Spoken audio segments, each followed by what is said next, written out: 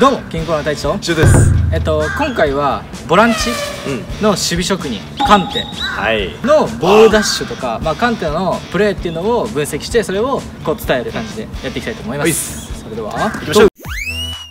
まずカンテといったら、うん。やっぱりタックルからのボールダッシュ。ボールを奪うっていう動きがすごく特徴ですごくうまいんだけど、でこれがまず普通の選手とちょっと違ってるところがあって例えばボールホルダーがいてこの人に対してタックルして奪いたいってなった時に普通こうやってこういうふうにタックルするんだよみんな。そうイメージあるでしょ、うんこのボールに対してちょっとガッツでやるよ。な時にこうやってこういう感じ。でタックルっていうイメージが多分あると思う。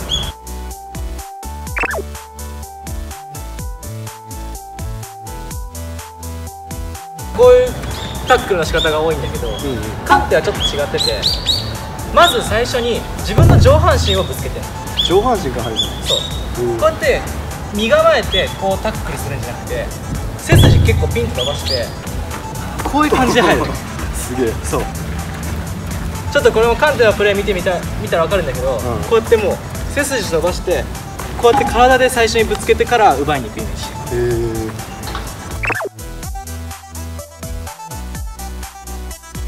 これがやっぱ普通の選手と違って体がやっぱカンテはそんな大きくない。だからタックルするときにスピードと力をこう込めて体上半身しっかり立ててタックルしてる。でこのタックルするとボディバランスがこう縦軸がこうしっかりしてるじゃん。こうやって斜めになってこうやってタックルしたらさバランス崩れてるからその後タックルした後ブレやすい。こ確かに確かうやってやって上半身からこうバーンって当ててるからこれ当ててもこう反動でもこう立ってられるしっかり。にうんだからカンテってタックルした後こう転ぶっていうブレがあんまない。うん。次によくあるのがこうちょっとボール離れてこう足を届いたら取れる場面。うんのタックル。こうドリブルしててこうやって足入れるような感じ。ああはい。カンテはそこまでスライディングを多用しない。んだよへえでここのボールちょっと出すじゃん。出してここでこうやって取りに行くじゃなくてカンテはちゃんと走ってある程度詰めてここの腰からこう出すのもう一回やるよ。出してちょっとギリギリで出して。普通の人だったらこうやって取りに行く。そう。足先を出して取りに行く。けどカンテの場合ちょっと出して。カンテの場合太ももがこうガンって入る。ここのここで体が追いつかない場合普通だったら足先出すところをここから出してこう入れてる。やっぱでもカンテの守備はやっぱ倍切っちゃうことが多い。から出して。その時にやっぱこうバーンと出して太ももから出してつついて出すんじゃなくて自分の足入れちゃう前の相手の前にね。なるこれやっぱ大きな違いで。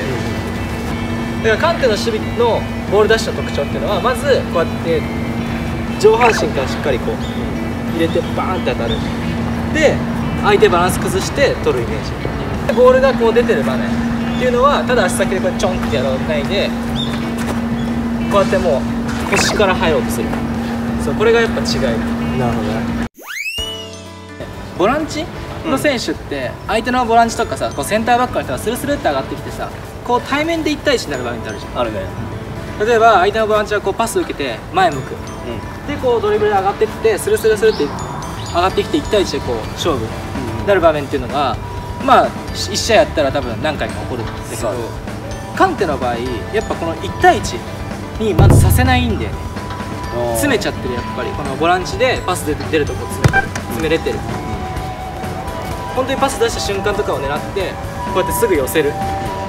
そうこういう寄せこの守備範囲の広さっていうのもやっぱカンテの特徴で。でやっぱ1対1でこう正面でなるじゃんこうやって。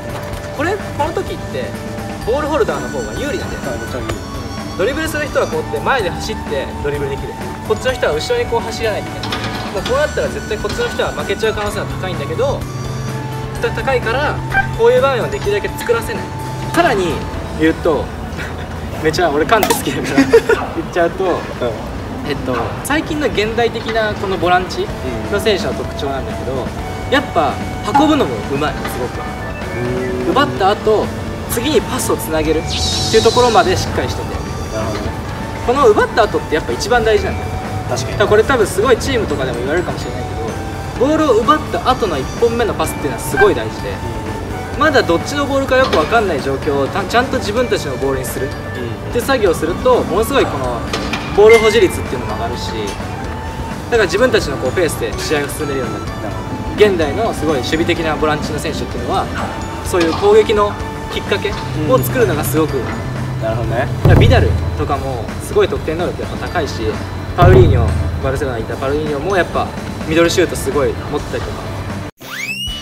カンテの奪い方ボールのダッシュ能力とか、うんその後のつなげ方っていうのをやったんだけどまあちょっとカンテとかまあそれ以外のボランチの選手とかを見てまあボランチの選手トップ下の選手っていうのは参考にしてみてやってみてください、はい。